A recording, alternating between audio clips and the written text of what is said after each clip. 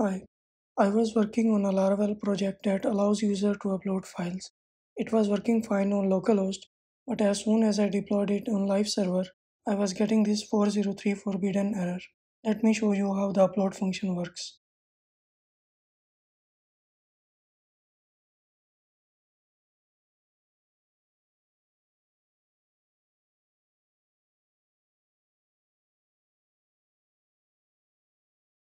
So storage folder is the storage folder of Laravel.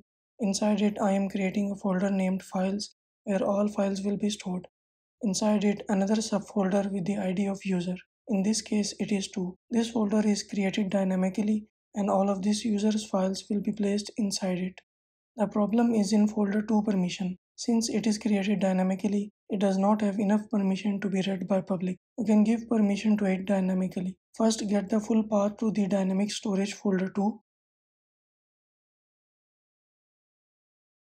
Then set its permission as 775. Means you can read, write and execute this folder.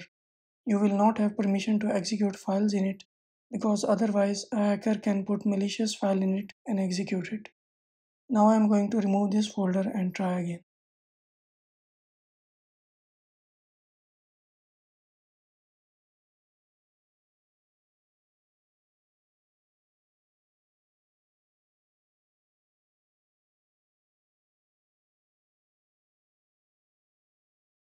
Now the file works fine.